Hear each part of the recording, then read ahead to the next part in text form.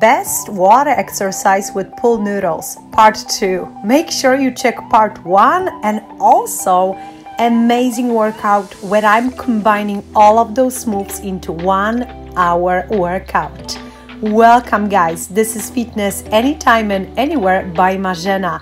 Let me show you my best and favorite exercise of 2020. Yes, these are my picks, but I'm sure that I will convince you some of those are yours too. These are moves that I would like to talk a little bit about, explain you how to do them, what mistakes to avoid, and show you all of those from the deck and also from the water. Yes, you already know that. I'm super excited to finally introduce my underwater camera. I know this is gonna bring a lot of great benefits to my channel, and I hope you're gonna love it. These moves will be added to the future workout, so make sure you take 20 minutes to learn all about them. I promise you're gonna love what's coming in the future weeks. Hey, if you are new on my channel, make sure you subscribe and check all the playlists. There's over hundreds of different workouts some of those are in the water, but there's plenty that you can do on your mat, at home, on your chair, inside, outside, everywhere. That's what fitness, anytime and anywhere, is about. I will explain you how to do each exercise correctly, what equipment to use, and what mistakes to avoid. Pick your favorites and select to make your own playlist. This way you can always find them. Hey, if you enjoy my videos, make sure you always click that like button. Share those videos with your friends and family. That helps me to grow my channel and I do appreciate it so much. Thank you guys so much for watching my videos.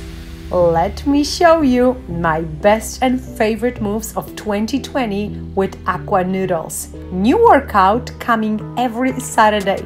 Make sure you check my Facebook to see what's next.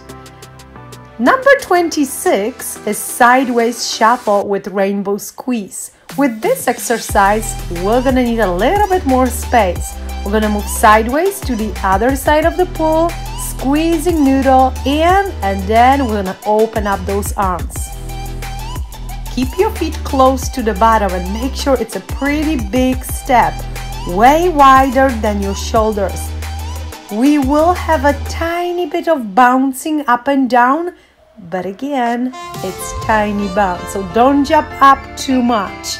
Deal with that resistance. Do not bend your knees, but also don't lock your knees.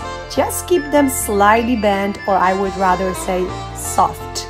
Keep your core engaged, shoulders back and away from ears. You can move sideways for 6, for 20 moves, however you want to. Another transition is sideways shuffle, but this time we're gonna push noodle away from us, like so. And then on your return, you're gonna pull it. You do wanna keep noodle just a little bit below the surface. Here moving sideways, you're gonna use the other hand to help you get to the other side faster. And then again, you're coming back, you try push noodle sideways. You can push it down or away from yourself.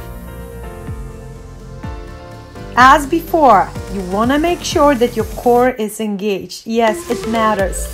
This exercise mostly works your inner thighs and out thighs along with your arms, but just by that that you will remember about keeping your core engaged, you are getting such a great abdominal exercise no matter what you actually do in the water. So hey, why wouldn't we do so? I love incorporating shuffle into workouts and you will see this next month. There's going to be plenty of motion exercise in our new routines.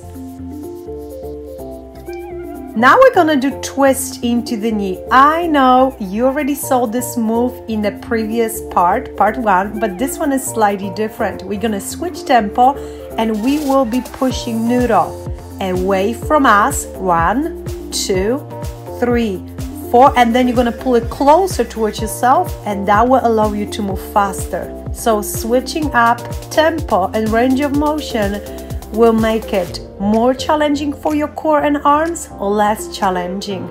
Give it a try and see how fun this one is.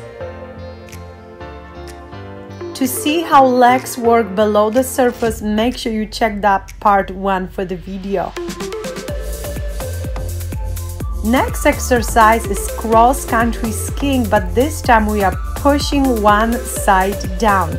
Noodle is on one side and you're gonna push it down with each jump. You are tucking your knees up right here. That was the previous version when we were just holding the noodle and trust me, holding it on the side with the push down movement feels very, very different. Not only you're gonna work your arms more, but you will be forced to engage your core so much more just to maintain the position. Is that fun or what? I know it is. Give it a try and discover the difference. In my future videos, I would love to mix up all different versions of those exercises. So I do recommend you practice them on your own and then I, I promise I will deliver the best workouts very very soon. You can move your other hand if you want or you can stabilize the position.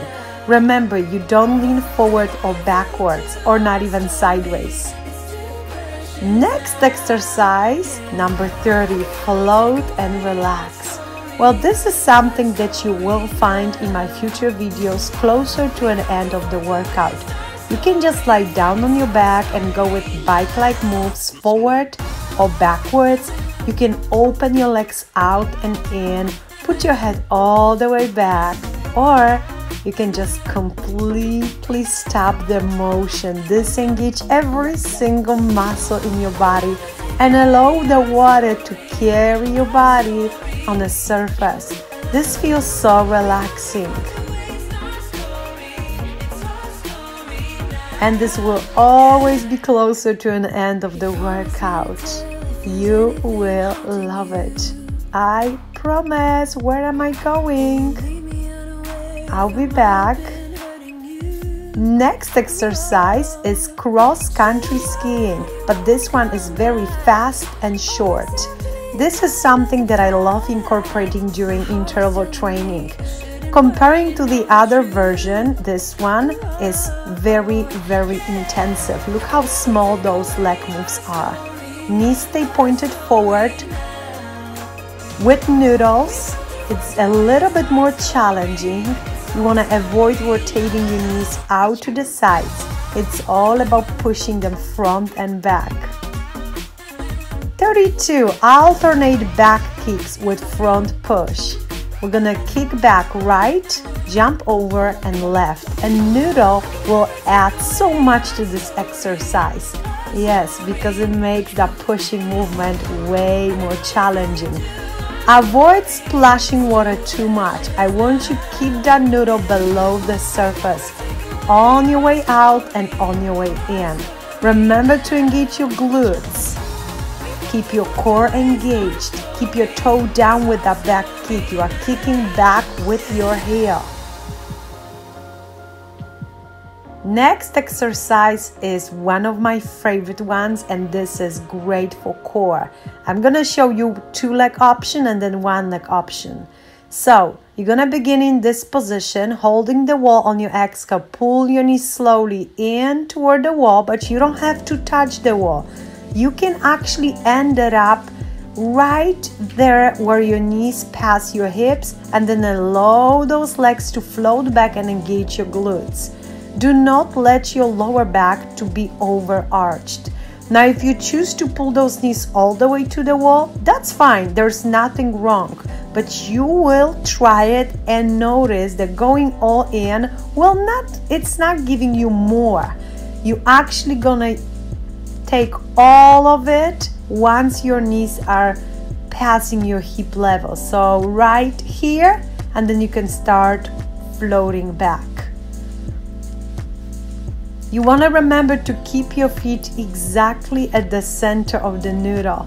moving your feet just a little bit off to the side will result in very very challenging you you're just not going to be able to balance well so always take a moment and make sure your feet are where they're supposed to be super important that you always exhale with movement in and then slowly inhale when you return to the starting position now, if you try this exercise and you find this too much, try one leg at a time. And here, look, it's way, way easier. Here also, you don't need to pull this knee all the way in toward the wall. You're actually gonna stop again somehow below your hips. You know what's best? The best workout you actually are getting if you alternate those two moves. So I encourage you, you take a moment and practice. Do 12 of each and just alternate them over and over again. Keep track on how many you did on one side because you know you owe the exact number to your other side. In the future workouts, we will have very quick transitions from one exercise to another one. That is why Again, I trust that you will take your time to practice all those moves with noodles and you're gonna be so ready for the coming workouts.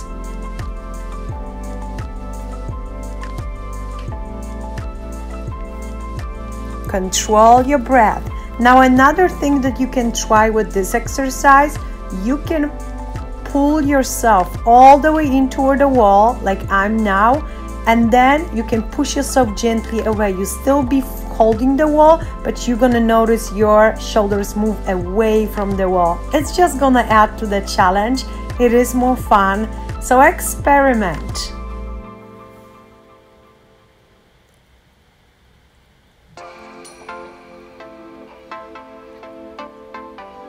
The noodle that I'm using today is not a professional noodle made for aqua class. It's a little bit lighter and it has this hole in the middle.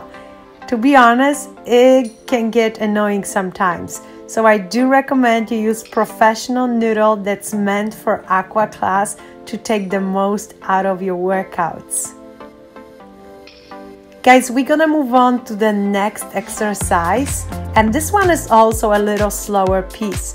This time you keep your foot on the exactly in the middle and again you press your down, press it down, diagonal lifts. You can begin by holding the wall and then once you get stronger core muscles, you should be able to maintain the position. The other leg must be grounded on the bottom of the pool. When you begin, you may not be able to go all the way up to the water surface. That's fine. Just do best you can. The range of motion will be better every time you try it again and again.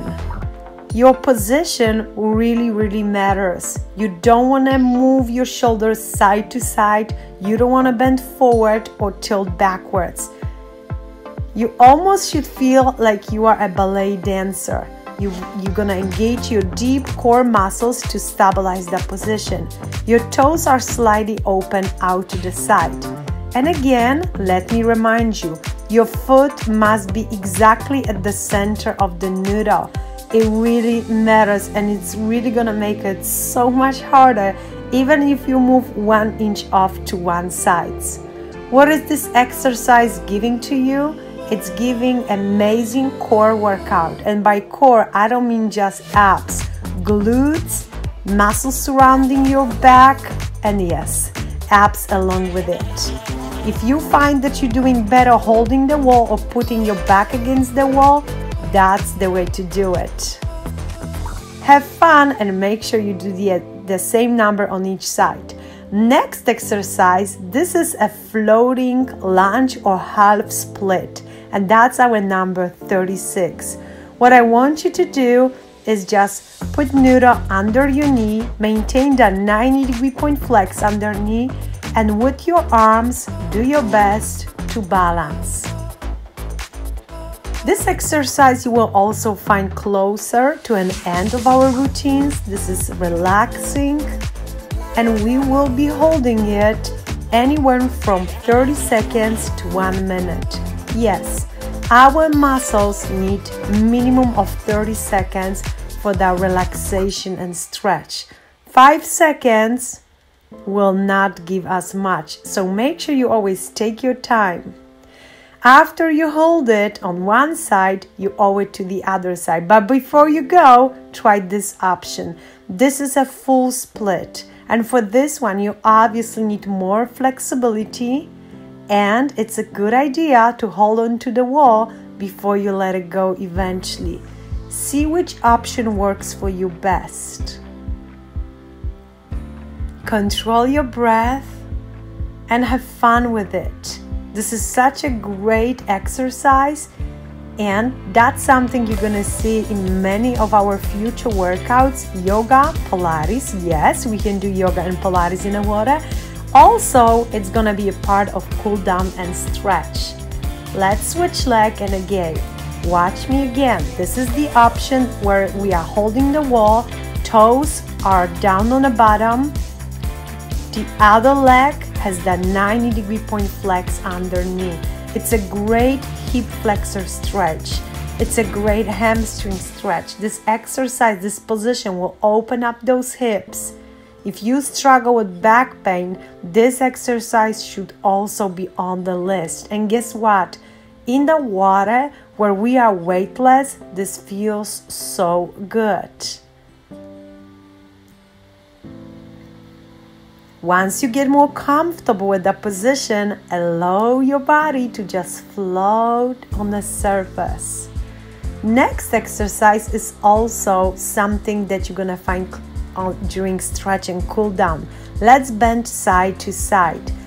Our feet are shoulder width apart with feet grounded on the bottom of the pool. The movement here is only from waist up please notice that I'm only moving a little bit. Once you notice that you are going downwards, you went too far. It's all about reaching to the highest point over the head and then going slightly to the side just to feel those muscles attached to your lumbar spine to get a stretch. That's all. But it's not about noodle touching the water or proving yourself how really really flexible you are. Just a tiny bit here is huge. Also notice that I hold noodle right in front of me. So in case it was completely wet, the water dripping down would not make you wet. But that's not a reason why we do it. We want to actually avoid overarching our lumbar spine. Tempo of those moves is very slow and controlled very slow and controlled. Let me say that again. It's very important. Spine stretches, I love those. We're gonna climb up on our toes as we are rounding up our spine and pushing noodle forward. Fully exhale so you can see how you exhale on the surface of the water. Next one is great for obliques. We're gonna bend knee to the side here, elbow to hip or knee, and then you're gonna reach over. On your exhale, knee to elbow. Exhale and inhale. The better you stretch, the better your squeeze will be next. We are supporting ourselves on the noodle instead of the wall because that makes this exercise more challenging. If you find this too hard, you can basically place your other hand on the side of the pool. That's fine. Once your core muscles get stronger, you will be able to find a balance and do it with noodle. One more time. You want to place your palm exactly in the middle at the center of the noodle. When you squeeze it, I want you to exhale. Reaching over, I want you to inhale. Think about reaching across, moving the elbow back and above the ear. Count how many you did on one side and then do the same on the other side. This next position is also part of the next stretch. You're gonna keep your feet closed and you're gonna reach to the side. After that, you're gonna switch side. Again, begin with pointing your toe to the side. On your exhale, squeeze and stretch, and squeeze and stretch. I always encourage you to do minimum of 12 reps, but if we can do two sets of this or even three, that would be wonderful. Take your time, practice this move. Make sure you don't end up moving forward, bending forward. We specifically want to move to the side to target those tiny muscles that are quite often forgotten. You can also imagine that you are standing in front of the wall. Once you push your knee forward instead of to the side, you're gonna bump your knee and that's gonna correct your mistake faster. Fully exhale and enjoy it. Split jumps in the house. Now these are mine and yours favorite. Push noodle down and kick both legs out to the side. If you want, you can do one leg out to the side or both even better. Now cross leg with side to side stretch. You already saw that one. Again, you would think that it's exactly the same stretch that we did with our feet shoulder width apart, but trust me, it's slightly different and you will feel the difference only when you do it. This one you're gonna find in a video where I combine all the moves. It's number 42, crunch and squeeze. Well, yeah, you have to jump out of the pool. You're gonna move your shoulder blades over the towel or the mat and you're gonna squeeze that noodle. Now you can choose to focus firstly on your inner thighs, squeezing the noodle. And I have noodle bent in half, but you can just squeeze one side of it. Here I'm moving my shoulder blades up. I'm pressing, imprinting my belly button down toward the tower or the spine, and I'm taking a little bit more from the abs workout. Number 43, knee to chest, and we're gonna circle toes out and in. Now, is that comfy or what? Hey, our aqua exercise do not have to end in a water. I encourage you to do some sort of moves, even warm up on your towel on the mat before you begin.